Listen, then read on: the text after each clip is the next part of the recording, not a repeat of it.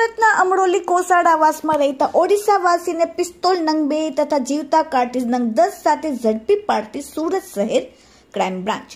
આગામી ગણેશોત્સવ તહેવાર નિમિત્તે સુરત શહેરમાં કાયદો અને વ્યવસ્થા જળવાઈ રહી અને કોઈ અનિચ્છનીય બનાવ ન બને તે હેતુસર સુરત શહેરના અસામાજિક તત્વો ઉપર સતત વોચ ચાલુ રાખવામાં આવી છે.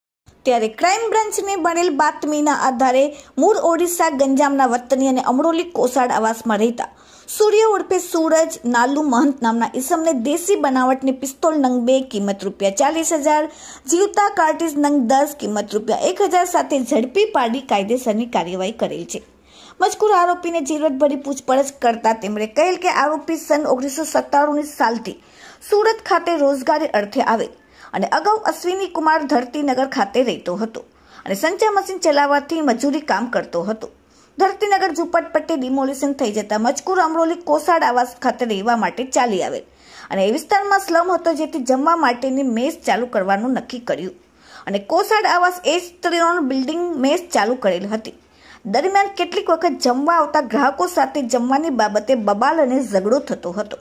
આજથી દોઢેક મહિના પહેલાં તેને મેસમાં એક અજાણ્યા ઈસમ જમવા માટે આવવા લાગેલો. અને અજાણ્યા ઈસમ સાથે તેને પિસ્તોલ અને કાર્ટી છે જે વેચાર કરવાનો છે તેમ જણાવતા આરોપી સૂર્ય ઉર્ફે સૂરજ મહંતને વિચાર આવેલો કે હું આ ઈસમ પાસેથી પિસ્તોલ ખરીદી લઈશ.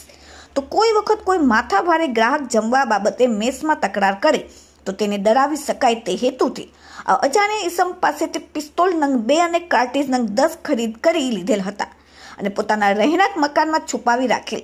અને આ બંને પિસ્તોલ વડે ફાયરિંગ થાય છે કે કેમ?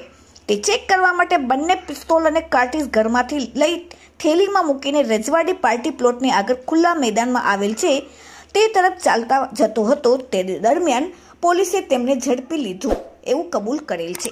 Bureau report daily India, one